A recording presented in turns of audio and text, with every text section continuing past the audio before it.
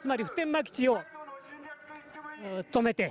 それであの辺野古に移すと。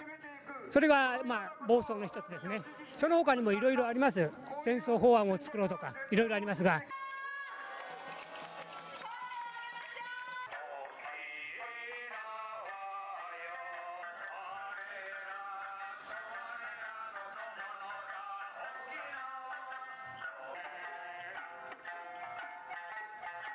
えっと、安倍政権は、えっと、日本が70年間、あの守り続けてきた平和っていうものを壊しています。なのであの反対しています。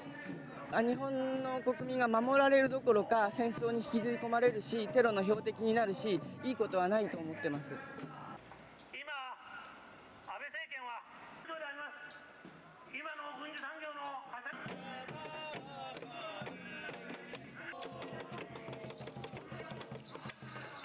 なんかこう武力を拡大するということはあのそれ自体こう世界の人たちにとっては脅威だと思うし、うん、あの持った武器は必ず使いたくなってしまうんじゃないかなと思います子どもたちの未来を守ろうと言って集まってくれてる人がこんなにたくさんいるんだよというのも見せたいなと思っています。武器を使ったり戦争して亡くなったら嫌だです。あらゆる人々と連帯しながら沖縄の問題ここ首都圏で6回島国と私たちの問題点捉え